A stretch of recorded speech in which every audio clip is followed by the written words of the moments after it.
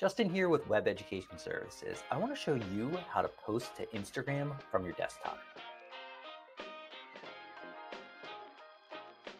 We're going to continue with the Marketing Launchpad. So if you don't have a Marketing Launchpad account, go to webeducationservices.com slash demo. If you do have an account, you're probably already logged in. We're going to scroll down to Evernote so that we have our text ready to go for our post. If you haven't written any uh, text yet, make sure that you watch our video instructions for writing a post. Next, we're going to go download our image from Canva. Again, if you haven't created an image yet, watch our videos for creating images in Canva. I'm going to go down to my most recent design. I'm going to click on download. I'm going to download a JPEG.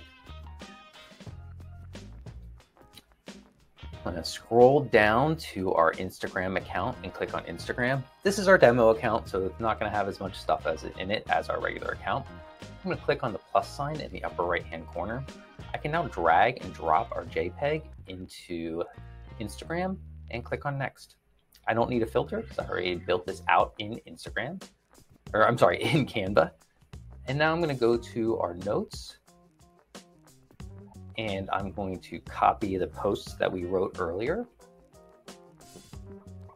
And I am going to paste it into Canva.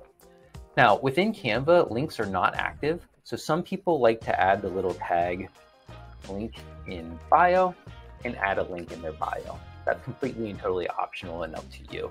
The last thing we want to do is tag our business in the location and click on share you need any help posting to Instagram from your desktop, please reach out to us.